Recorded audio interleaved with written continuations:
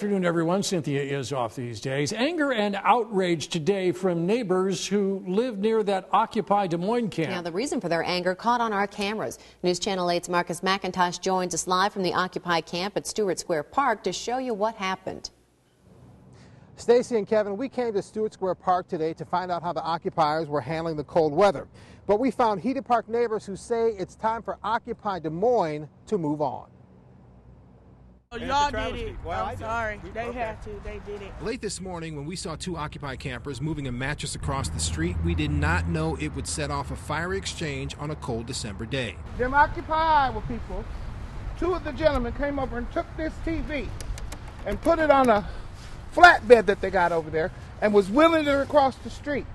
I told him, I said, how dare you come over there and take this 65-year-old man who's been put out of his home stuff over here. Neighbors tell us, along with the man in his mid 60s, a woman caring for two small children also evicted from her apartment.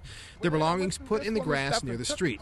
The neighbors tell us the occupiers then went through those belongings, taking what they wanted. To steal people's furniture that had been set out of their home, to drag over there under the guise of we're Occupy Iowa is wrong. The neighbors we spoke to say they are not against what Occupy Iowa stands for, but are against what they say are people at the camp who use the Occupy movement to suit their situation. This is not no Occupy Iowa. This is let's be homeless, use the guise of Occupy Iowa, and do whatever the hell we want. I mean, we don't stand that way.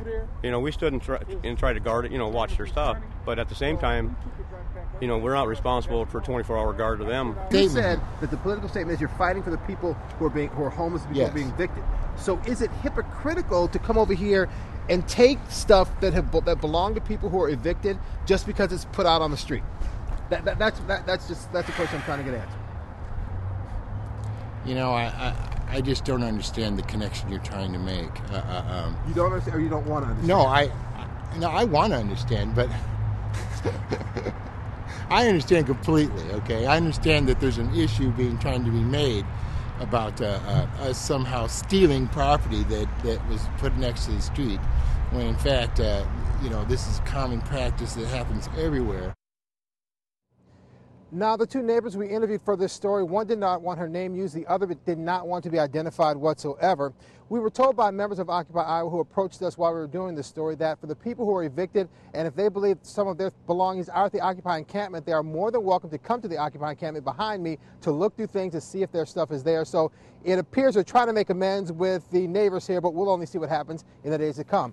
I'm Marcus McIntosh live in Des Moines at Stewart Square Park. Stacy, back to you. Well, Marcus, question for you before you go. Did anybody from Occupy Des Moines ever admit to taking any of those belongings?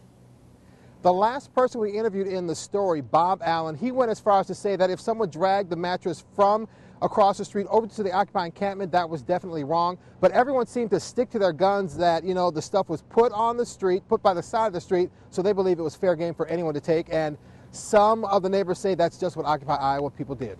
Okay, Marcus, thank you.